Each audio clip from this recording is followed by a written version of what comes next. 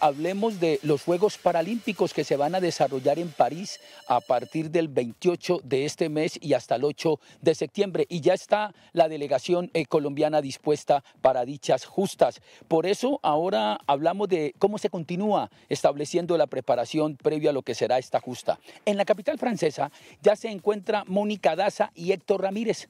Ellos son los únicos representantes de Colombia para tiro con arco y quienes están haciendo reconocimiento del escenario donde se va a llevar a cabo la ronda de clasificación. Les recuerdo que los Juegos Paralímpicos serán transmitidos desde el 28 de agosto y hasta el 8 de septiembre por Telepacífico, canal autorizado.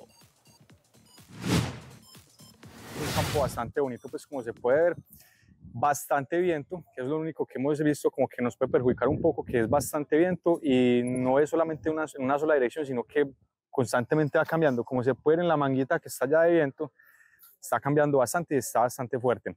De resto, pues todo me parece que está muy bien, el, el campo está con muy buena disposición, la luz del sol también está como, no molestan los ojos, todo está muy bien.